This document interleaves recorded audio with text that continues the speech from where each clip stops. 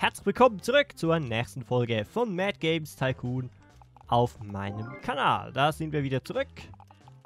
Ja, wir haben den Nachfolger von Powerrock in Entwicklung und gehen da aufs Ganze. Es muss auch gut einschlagen, damit wir uns ein neues Gebäude kaufen können, um dann äh, die Grafik- und soundtechnischen Verbesserungen reinzubringen. Das wäre das Ziel, das haben wir in der letzten Folge erforscht. Und ja, ich möchte jetzt nur nicht das riskieren. Das kostet 5 Millionen hier. Und wir haben nur 8 und wir brauchen auch ein bisschen äh, Budget, sag ich mal. Aber wir gehen jetzt da all in, entwickeln da die besten und teuersten Dinge. Ja, und wird sich hoffentlich dann ausbezahlen. Wir haben das Spiel leicht verbessert zum Vorgänger. Leider kamen auch danach noch ein paar Fanbriefe und wir konnten nicht alles top verbessern. Aber ich hoffe, wir bringen das schon mal ein bisschen besser hin. So, oh, die haben erst jetzt da... Ich glaube, ich breche die Aufgabe nochmals ab. Und mache da... Wie viel haben die jetzt? Nur eines noch mehr. Ja, das soll so bleiben. Besser Bugfixing jetzt. 300 Bugs, das dauert ein Weilchen. Wir brauchen Cash. So. Äh, das verschieben wir mal nach da.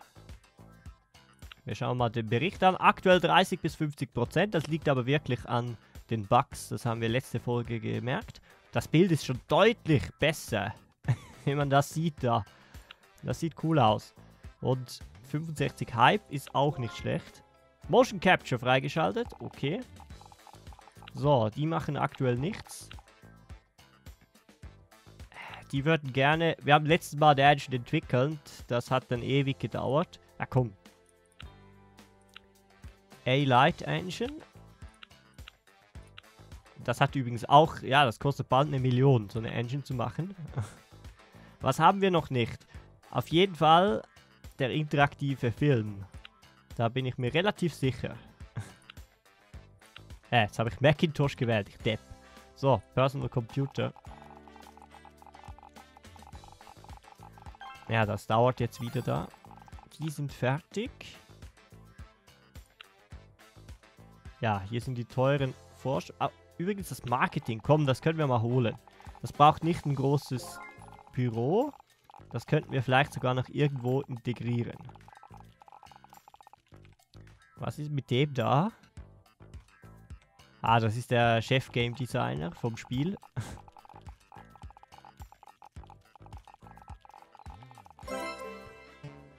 ich glaube nicht, dass wir da wieder irgendwo vertreten sind. Natürlich nicht. Horror-Effekt. Oh, das Spiel wurde vom Markt genommen. Da muss der Hype natürlich noch mehr steigen. Wenn sogleich, sobald das Spiel vom Markt ist, der Nachfolger kommt. Arbeitermangel, das ist nicht so toll. Wir wollen ja ausbauen. Was natürlich noch... Ja, es ist wieder Weihnachtszeit und wir haben wieder nichts zum Verkauf. das ist toll. So, noch sechs Wochen. In sechs Wochen muss das Spiel draußen sein. Das wird kritisch. Ich möchte es nicht so veröffentlichen. Da müssen wir jetzt darauf hoffen, dass Aufbauspiel und Wirtschaft nicht unbeliebt sind im nächsten Trend. Auf das müssen wir hoffen, weil sonst könnte das nicht ganz so gut ankommen. Oh ne, jetzt hat er automatisch AAA gestartet. Ah, das äh, war wieder klar. Das sieht man auch im Kontostand. eine Million für eine Engine und eine Million für AAA ausgegeben. Obwohl wir die gar noch nicht brauchen. Naja, was wir haben, haben wir. So kann man es auch betrachten. Ja, die Projekte werden immer größer, brauchen immer mehr Zeit, also mit den gleichen Leuten natürlich. Und das ist natürlich schon aktuell noch ein bisschen kritisch. Weil man natürlich schon aufpassen muss, dass man noch solide dasteht. Gut, es sieht auch immer so bedrohlich aus, wenn hier Zahlungen rausgehen. Aber das, das ist natürlich auch nicht so ein Riesenbetrag. muss man schon auch sagen. Wenn du natürlich so einen Staubsauger hier für 15.000 kaufst. Ja. ist halt so. So, diesmal passt perfekt. Dass wir dann gleich das Update machen können. So, dafür Top-Bewertungen da.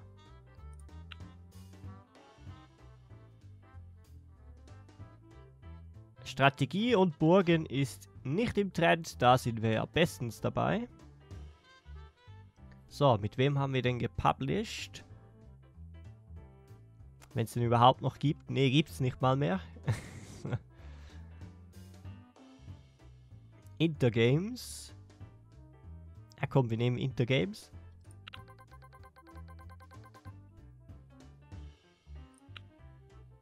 Es gibt bereits ein anderes Spiel, was so ist. Wir haben uns nicht so sehr verbessert, muss man schon sagen. Also, könnte besser sein, wenn ich da ehrlich bin. Ich würde aber trotzdem mal noch ein kostenloses Update machen.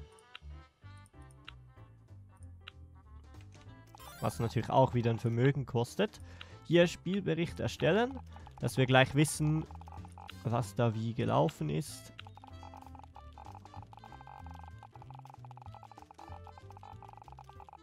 Kundensupport wird besser. So, aber verkauft sich jetzt nicht schlecht. Also kann man jetzt nicht viel sagen. Ist aber immer noch 2 Millionen im Minus, ha? Sound sind sie enttäuscht. Oho, jetzt sind wir schon so weit. Aber wir haben drei Haken richtig getroffen. Das da nicht. Und den auch nicht. Ja. 69. Und was hatten wir hier? 65. 4% mehr. Immerhin etwas. Aber vom Sound enttäuscht zu sein, ja. Gut, wir haben ja das Soundstudio in der Pipeline. Absolut.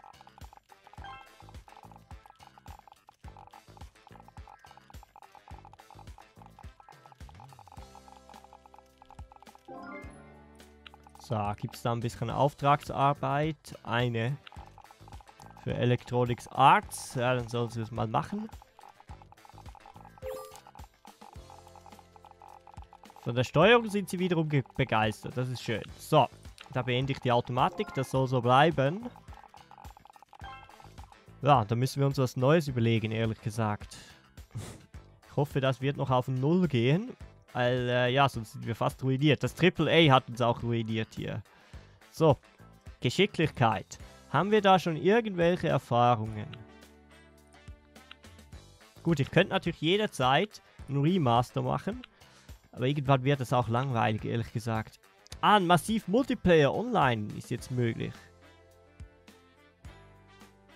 Ein MMO Add-on, okay. So, wir nehmen Double A. Was machen wir überhaupt? Mix-Effekt Valk an Profile, so. Geschicklichkeit. Ja, da haben wir Erfahrung, stimmt. Denkspiel. Das Thema Autos.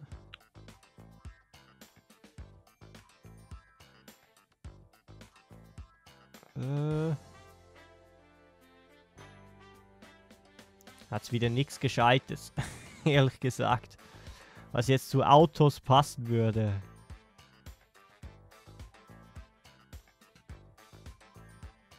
Transportwesen. Aber dann andersherum. Ah.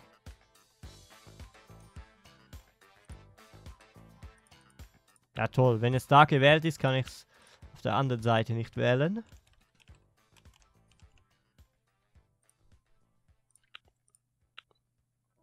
So, Transportwesen, Autos. Wird bestimmt nicht passen, aber lassen wir jetzt mal so. Gut, dann sollten wir ja für Geschicklichkeit eine Engine haben. Das ist die, die, die am meisten outdated ist, aber na gut. So, dann haben wir vier Plattformen. Wir, wir bekommen halt auch nicht mehr als 50% hin da. Das ist halt auch nicht so toll.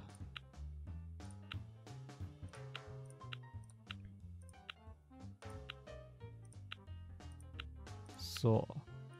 Da wieder mal investiert. Gut.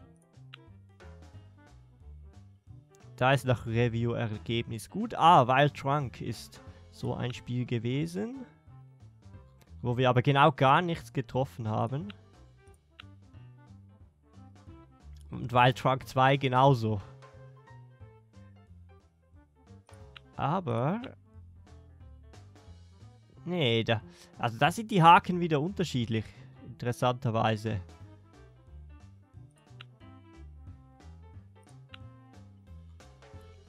So, und wir hatten schon mal Valk on Profile gemacht. Call to Duty.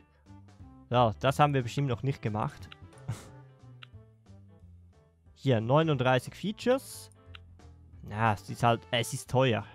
Absolut.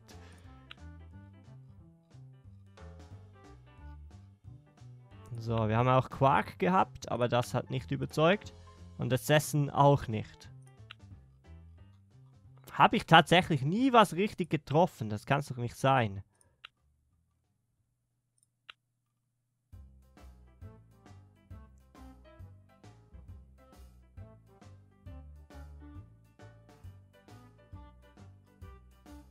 So, ich glaube, ich übertrage mal schnell die Einstellungen hier. Ja, muss jetzt aber wieder hier hingehen. Das ist natürlich doof. Also das könnte ein bisschen besser sein, wenn ich da ehrlich bin. So. Also wenn jetzt da natürlich wieder alles fehlt, ist es wieder blöd. So, äh, Kinder würde ich mal belassen demnach. Dann hier Transportwesen. Autos. Das hat er gespeichert, das auch. Gut. Ah, doch, hier steht's. Nur da stand's nicht. Gut. so, dann brauchen wir die Fanbriefe zu äh, Wildtrunk 2. Zu sehr für Core. Und einsteigerfreundlicher. Noch mehr. Boah, gehen wir halt eins rüber. so, das da ist auch ein bisschen komisch, aber das würde ich so belassen, weil da gibt es irgendwie keinen kein Verlass. Äh. So. Ich habe gerade gesehen, 27. Hä? Kann nicht sein. okay. Großes Risiko natürlich wieder. Aber ich hoffe, das klappt.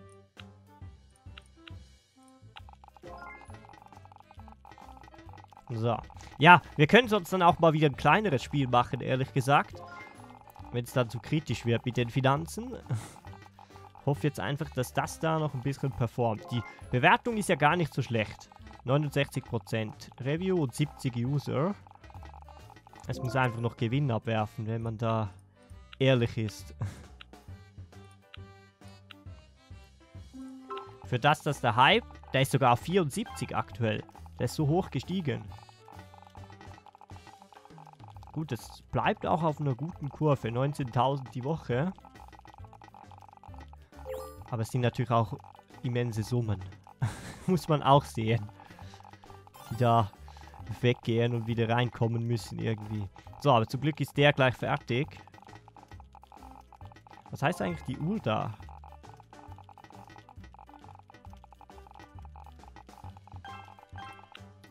So, ja, es hat natürlich schon wieder neue Features. Und neue Genres auch. First-Person-Shooter und Visual Novel. Das sagt mir gar nichts. Ist das so ein äh, Adventure-Click-Film? Ähm, ne, das ist ja der interaktive Film eigentlich. So, die Themen sind ja nicht so teuer. Deshalb können Sie sich mal wieder durch die Themen arbeiten.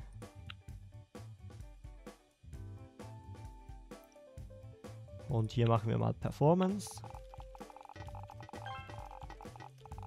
Ja, Themen gehen auch relativ schnell. Kosten nur 10.000. Also ja, summiert sich schon auch. Aber so haben wir wieder ein bisschen mehr Auswahl. Obwohl es natürlich schon... Es ist viel zu viel Auswahl eigentlich drin. Minus 200. Ah, das ist bitter. Das schadet natürlich immens. Minus 200 ist jetzt gerade wirklich nicht toll. Und, und... Ah, wir werden gleich Break-Even haben. Und erst ab dann haben wir etwas verdient. Jetzt. 100.000 verdient. Aber es sieht immer noch stabil aus mit 16.000.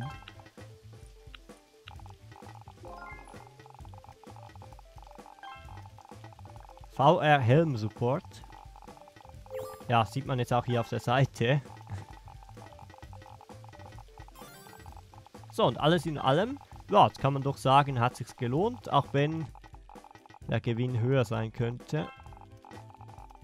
Das ist absolut so.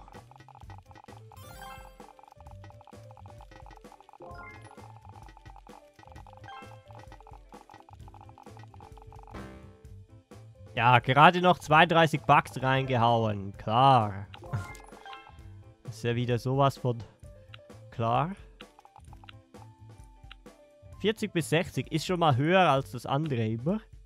Auch wenn äh, etwa gleich viele Bugs drin sind. Und der hat tatsächlich ein bisschen Level auch erhalten da. So. Dieses Mal machen wir Updaten. Äh, Features hier, so. Und dann machen wir mal die da. Da, da, sind 18 von 24 Features drin oder so, die wir haben. Aber die 6 Features kosten einfach mal die Hälfte alles. das sind einfach die teuersten Features, die da reinkommen.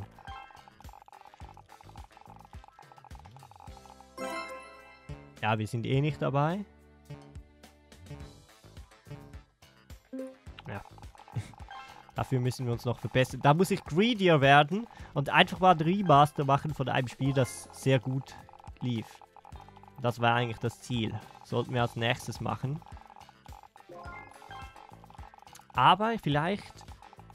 Ja nein, wir müssen das machen, damit wir uns dieses Gebäude kaufen können. Wenn wir nur solche Dinge machen, dann lohnt sich das nicht. Also da geht so viel Geld drauf. Oh, Gegenstände Stufe 3. Jawohl. Jetzt gibt es doch hier so einen Button. Ist der hier? Ah ne, der ist äh, pro Raum, glaube ich. Da, genau. So, was kostet das? Ja, 10.000 pro Stück. So. Ja, brauchen wir. Geht das da auch? So, ist die Toilette noch auf dem neuesten Stand? Gut, passt schon. Ja, mit den Tischen 3. Was haben wir da für Bonus? Arbeitsergebnis 20%. Das ist schön.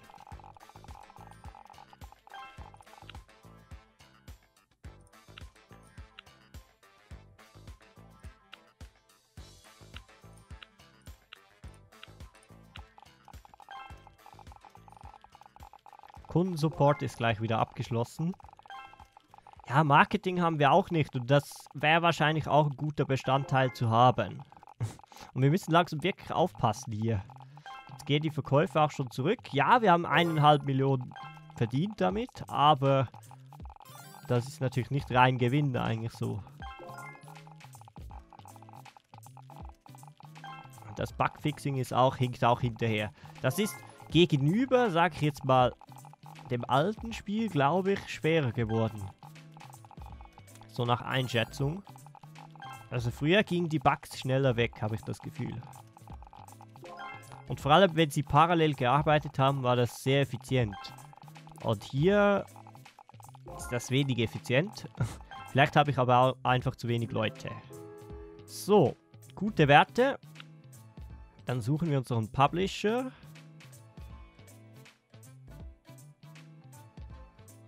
Ja, gibt wieder mal keinen natürlich. gibt es für Denkspiel, also keinen, der in Frage kommt, muss ich so sagen. In der, ja.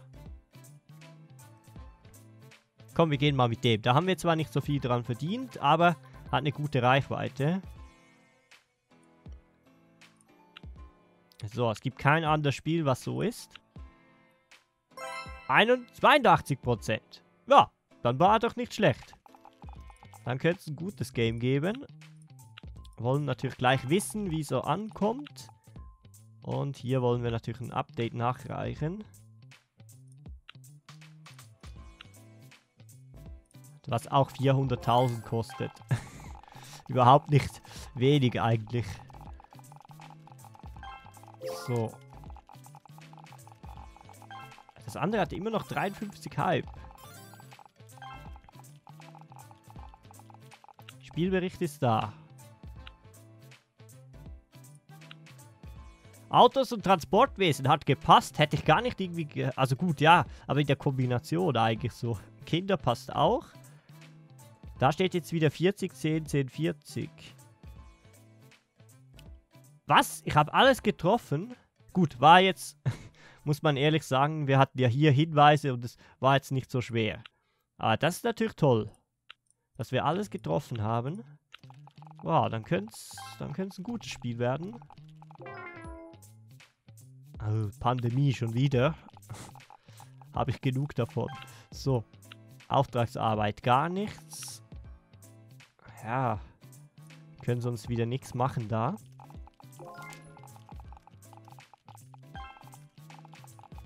Neuer Trend. Power Rock 2 ist vom Markt. Wirtschaftssimulation und Engel ist negativ. Echtzeitstrategie und Werwölfe sind im Trend. So, und ich glaube, ich würde hier mal die Automatik beenden.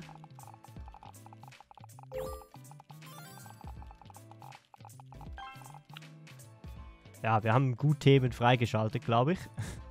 So, da sind zwei drin noch. Da sind zwei. Hardware sind wir noch nicht so weit. Würde sagen, Engine Features als nächstes. Das ist wieder ein bisschen teurer. So, also das sieht schon mal sehr gut aus eigentlich da. ich glaube, die Updates, man bekommt schon noch mit den Updates was hin. Also ihr seht, es steigt auf, dann sinkt es. Und dann mit einem oder zwei Updates bleibt es relativ ähnlich gleich. Ich würde es hier Automatik beenden. Es stagniert so ein bisschen wie. Das ist schon positiv. Und es geht sogar nochmals hoch. Aber ich würde es so belassen. Und äh, ich würde es auch für diese Folge so belassen, wenn man so sagt. Wir werden dann nächste Folge weitermachen. Ich glaube mit einem ah, Remaster, denke ich mal. Das wäre ja Zeit. Ich danke euch fürs Zuschauen und wir sehen uns wieder in der nächsten Folge. Bis dahin, tschüss!